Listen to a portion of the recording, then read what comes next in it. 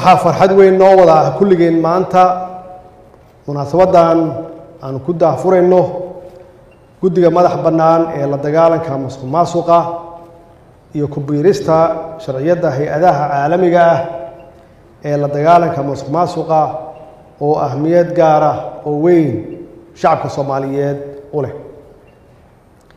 Dowladda federaalka soomaaliya oo ka duuleysa ahmiyadda guddigan uu leeyahay dadaalada ciribtirka aafada musuq maasuqa iyo qodobka boqol iyo kow iyo toban ee xarafka a ee dastuurka kumeel gaarka ah oo qeexaya nagu hagaya hanaanka la dagaalanka iyo xakameynta musuq maasuqa ayaa dadaal badan aan ku bixinay sidii loo dhammaystiri lahaa dhismaha guddigan madax bannaan ee la dagaalanka masuq maasuqa iyadoo ay sii dhiirigelinayso guulaha muuqda ee sannadihii la soo dhaafay aynu ka gaarnay ilaalinta hantida dadweynaha iyo danta guud.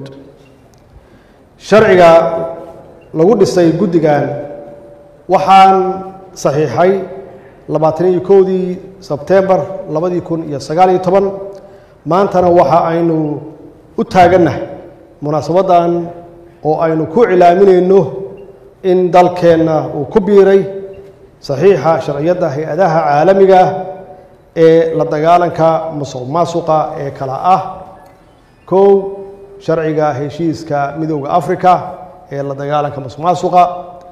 Labo sharciga heshiiska carbeed ee la dagaalanka musuq maasuqa saddex sharciga heshiiska qaramada midoobay ee la dagaalanka musuq maasuqa dhammaan tallaabooyinkan waxa ay dhiirigelinaysaa fursadna siinaysaa maalgashiga caalamiga ah ee dalkeena. Kobca dhaqaalaha awoodsiinta shaqo abuurka dhallinyarada iyo kalsoonida shacabka soomaaliyeed ay ku qabaan dowladdooda. Si aan u xoojinno dadaaladaas ugana miri dhalinno higsigeenna ku aadan dal daahfuran oo aan musuq maasuq aan ka jirin.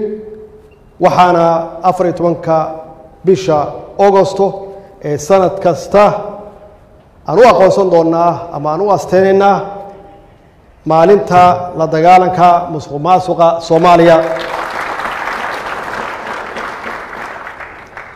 dalkeennu hadda waxa uu ku jiraa wakhti doorasho oo aada iyo aada xasaasi u ah waxaana waajib inagu wada kulligeen ama xil gaaraan iska saarno ka hortagga iyo xakameynta musuq maasuqa si loo xakameeyo hantida qaranka oo ammaano nagu ah kulligeen ammaano nagu ah.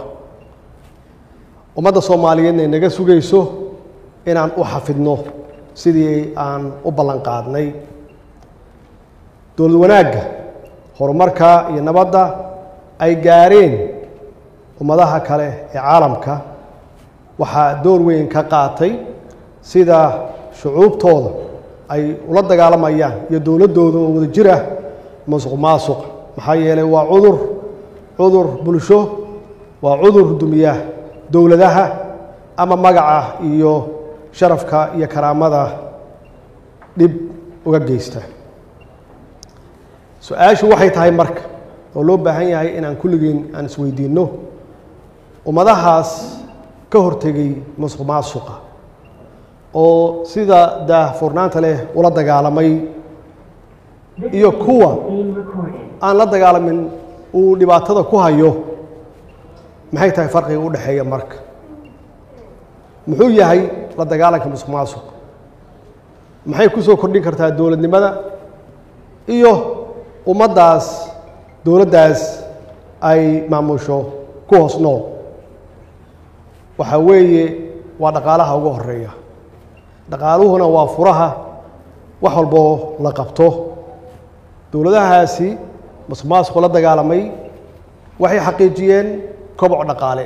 Inuu dhaqaalahooda kor u kaco. Growth yuu muujiyey. Waxa ay dhiirigeliyeen sidii dhaqaalahaasi kor ugu kici lahaa. Hadday tahay inay dhiirigeliyaan ganacsatadooda. Hadday tahay inay shacabkooda ku adkeeyaan inay canshuuraha bixiyaan. Hadday tahay inay raadiyaan maalgashi shisheeye. Hadday tahay inay isku xidhaan ganacsatada iyo bangiyada.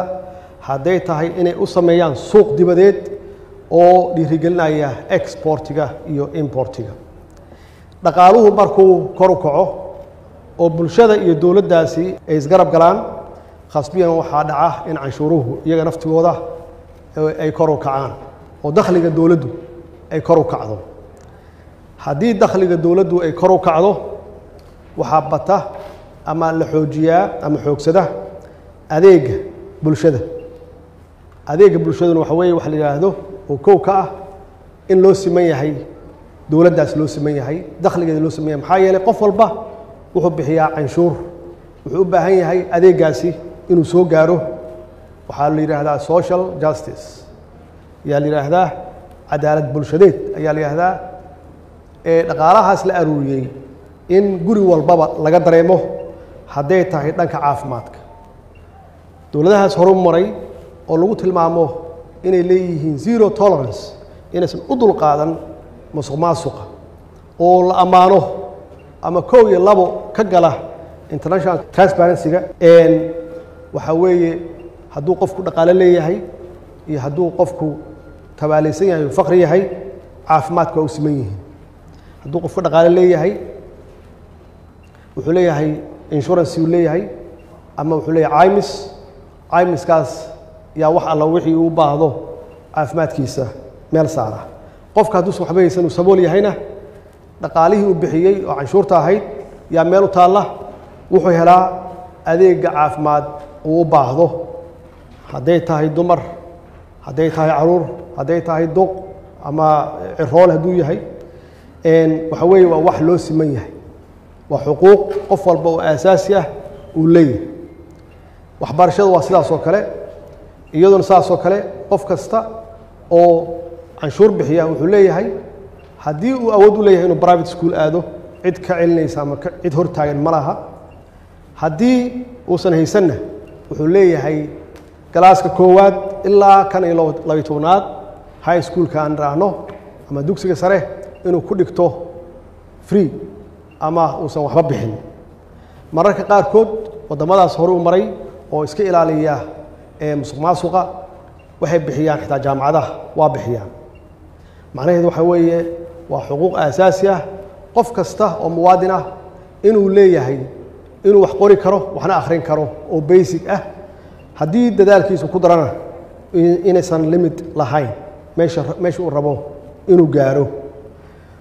Waxaa intaas dheer oo canshuurahaas laga qaado dadka ama dakhligaas kor u kacay ee dowladahaas la dagaala musuqmaasuqa ay keentaa dadka masaakiinta ah in la guriyeeyo oo guryo la siiyo ama guryo raqiisa loo helo. Aysan jirin qof bannaanka jooga ama bannaanka jiifta inuusan jirin. Taasna waxa weeye waa xuquuq qof kasta uu leeyahay oo muwaadin ah oo canshuur bixiyo ah. In la dhaqaaleeyo dadka masaakiinta ah oo haddii ay sabool yihiin oo aysan shaqaysan karin ama ay xanuunsan yihiin ama ay dhiman yihiin oo curyaan ay curyaamin yihiin iyada naftigeeda waxa weeye waa wax meel u yaalla oo social net la yidhaahdo oo dadkaasi lagu kaalmeeyo wax lagu siiyo. Maxaa yeelay intii kaloo caafimaadka qabtay yaa bixisa canshuuraha. Dowladdii canshuurta aruurinaysana iyadu laftigoodu waa u maamulaan dhaqaalahaas waxayna ku bixiyaan sida saxa ah oo dakhliga ay ku muujiyaan. Waxaa intaas dheer infrastructureka in la dhiso ay ka mid yihiin kaabayaasha dhaqaalaha jidadka eerboorada hayweeyada iyo kanaalada iyo wixii la mid ah. Intaas waxay ka timaadaa bulshaday ka timaadaa. Bulshaday ka timaadaa. Waa qof kasta oo muwaadin ah waa wuxuu ku darsaday dowladdu waa u maamushay oo keliya ma aysan musuq maasuqin intaas waxaa weeye marka lala dagaalamo musuq maasuqa dowladdaas loo dhiibtay ammaanadana ay si fiican u maamusho. Yaa waxay gaartaa inta ay dadkeeda ay ka haqibtirto ee waxay siisaa dowladaha masaakiinta ah oo musuq maasuq u hareeyey oo dhibaatadu haysato iyay gaarsiiyaan oo ay ku kaalmeeyaan. Waa marka ay dhaafeen arrintoodii gudaha oo ummaddoodii waxay u baahnaayeen ay siiyeen iyo waxay fiiriyaan yaa u baahan oo maskiin ah oo ismaamuli waayey oo kaalma u baahan. Annagu dadkaas kaalmada u baahan ayaan ku jirnaa. Annagoo dalkeennu yahay dal barwaaqo ah dadkeennuna ay yihiin dad wanaagsan oo firfircoon oo karti badan aqoona leh ayaan waxaan ku jirnaa dadkaas la kaalmeeyo. Intaas waxaa dheer masuq maasuqa marka lala dagaalamayo waxay keentaa iyada naftigeeda siyaasad wanaag ayay keentaa. Maxaa yeelay siyaasaddu naftigeeda bacdamaa bulshadii lagu dhisan yahay oo iyagu ay bixinayaan canshuuraadkii iyo wixii laga rabay bixinayaan waxay ku leeyihiin door waxay ku leeyihiin ra'yi go'aan iyo ku leeyihiin dowladdaas siday u shaqayso iyo cidda maamulka u haysa. Meeshaas waa meesha laga yidhaahdo dimuqraadiyad oo dadkaasi ay u codeeyaan. Qofka alla qofkay isleeyihiin waa wanaagsan yahay waa aamin waa shaqo yaqaan. Wixii ummaddaas laga aruuriyana oo ammaanad ahaydna si wanaagsan oo muuqda oo transparenty ah yuu u maamulaa. Hadduu qofku xun yahay oo lagu sheegay inuu musuqmaasuq yahay ama uusan shaqadii loo igmaday uusan ka shaqayn ma soo noqdo. Meeshaas weeye meesha annagu aan u baahannahay aan jeclaan lahay inaan gaarno shacabkeennu inay qayb ka noqdaan go'aammada ay gaarayaan dowladdooda. Taasna waxaa ka horreeya inay cod ku yeeshaan qofka maamulaya ama qofka madaxda u noqonaya. Waxaa intaas dheer oo iyadana weheliya arrimaha amniga iyo cadaaladda oo iyada naftigeedu qayb ka ah dadku waxay bixiyaan. Haddii dadku ay canshuuraha bixiyaan dowladdaas loo dhiiban ay maamulaan waxaa xaqiiqo ah dadka qaabilsan ama loo idmaday amniga inay qaataan mushaaharaad fiican in faamilkooda caafimaadkooda meel loo meel loo saaro in guryo la siiyo askarta si ay hawshooda u qabtaan.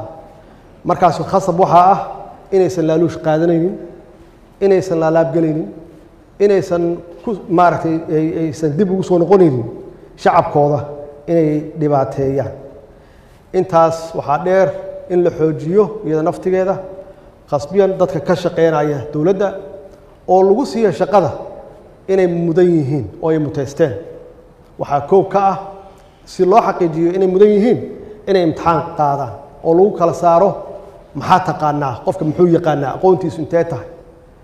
Shaqadan uu rabo ama uu dalbanayo ma qaban karaa oo aqoonteeda iyo khibraddeeda ma leeyahay. Means waxaa weeye waxaa la qaadanaya qof walba qofkuu ka fiican yahay qof walba qofku ka harti badan yahay qof walba qofkuu ka ammaano badan yahay. Adduunyada hore u martay dhaqankoodu waa kaas marka. Haddii intaas aadan yeelin waxaad noqonaysaa mar walbaba qof ceebaysan oo adduunka marka laga hadlaayo international transparencyga laga hadlaayo lagugu sheego inaad tahay waddanka ugu tuugada badan waddanka ugu musuq maasuqa badan adigoo ilaahay ku siiyey ama kugu manaystay khayraad aad iyo aad u fara badan oo awoodi kara haddaad khayraadkaas iyo dadkaaga aad si fiican loo maamulo aan annagu bixin karno kaalmo ummadaha naga liita aan kaalmo gaarsiin karno.